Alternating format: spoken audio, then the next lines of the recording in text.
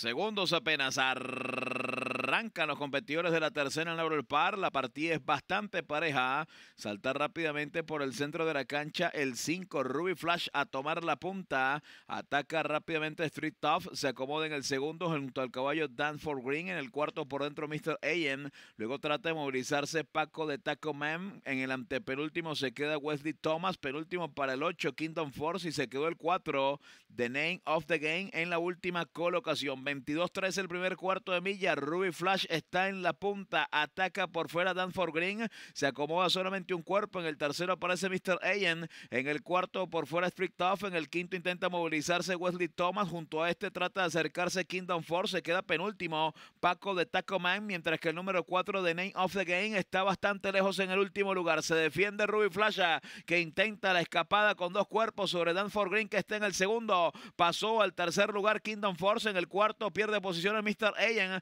En el quinto intenta acercarse el uno Wesley Thomas cuando van a ingresar ya a la recta final del Laurel Par. Es la tercera de la tarde. Ruby Flash crecido en la punta. Ataca Kingdom Ford por fuera por la, por la parte externa contra el puntero. Ruby Flash se defiende. Kingdom Ford por la parte central de la cancha. Estado cuerpo sigue insistiendo contra el puntero que está crecido.